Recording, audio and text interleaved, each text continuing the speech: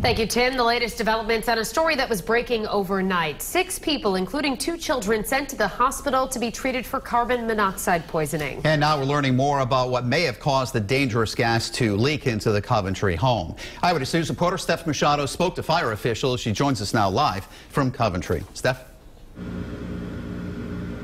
And firefighters here in Coventry say the family is expected to be okay. The fire captain tells me this could have been much worse. It was in a deadly range. Western Coventry Fire District Captain Robert Mann says the home on Sisson Road had high levels of carbon monoxide when firefighters arrived overnight. If the residents of the home had just shrugged it off and gone to sleep, they wouldn't have woken up. Mann says six people, including two kids, were hospitalized for carbon monoxide poisoning, all expected to be okay. He says the cause was a water heater the homeowner self-installed that leaked CO into the house. He said it's a lesson for other homeowners. Call a licensed professional, uh, get the proper permits. These these safeguards are in place for a reason to make sure things are installed correctly, to make sure that it's inspections and they are safe. Mann says the house also did not have carbon monoxide detectors. Fortunately, one of the family members was awake, felt sick, and woke up the rest of the household. They called 911 and got out. If this family had just shrugged it off and gone to bed, I guarantee there would have been six fatalities this morning. You, you would have been reporting on six fatalities instead of six people are still alive.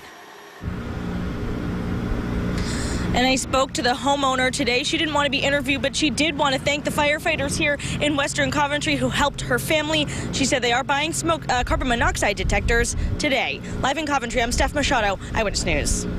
The West Bay Mobile Newsroom moving to Coventry. Now we're told a water heater was to blame for a carbon monoxide leak at a home on Sisson Road overnight. A half dozen people ended up going to the hospital. Firefighters say this shows that carbon monoxide, often a hazard in the winter, can be dangerous any time of year. Eyewitness News reporter Steph Machado joins us now live from Coventry with the new details at 6. Steph? Mike, fortunately, everyone is expected to survive from this carbon monoxide incident overnight, but the fire captain says this was preventable and he has advice to keep your home safe. A frightening night for a Coventry family as six people, including kids and grandparents, were hospitalized for carbon monoxide poisoning after fire officials say a water heater was leaking CO into the house. It was in a deadly range.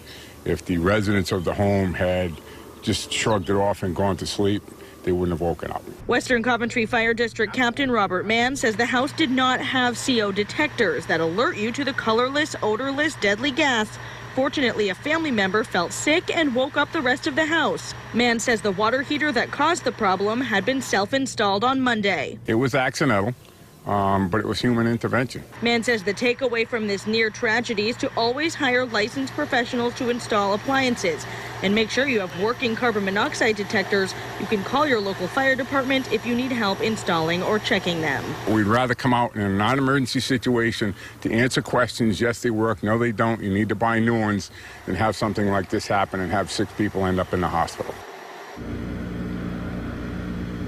And again, those six people are expected to be okay. I did talk to the homeowner today. She said she wanted to thank the firefighters for their help, and they are buying carbon monoxide detectors today. Live in Coventry, I'm Steph Machado, Eyewitness News.